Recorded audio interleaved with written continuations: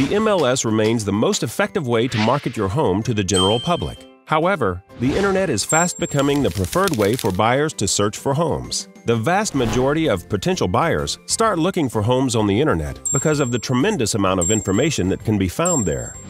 Real estate companies that use this technology are serving their clients better.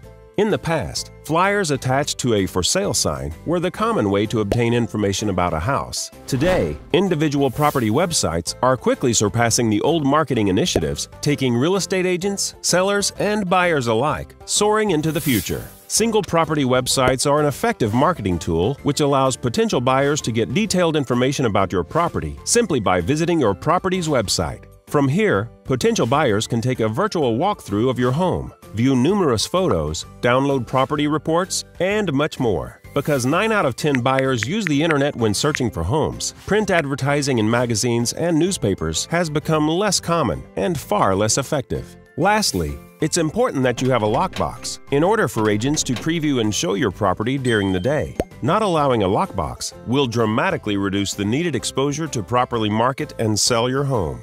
Thank you for watching. This video was brought to you by Beth and CJ Stein. Questions about real estate? Give Beth or CJ a call.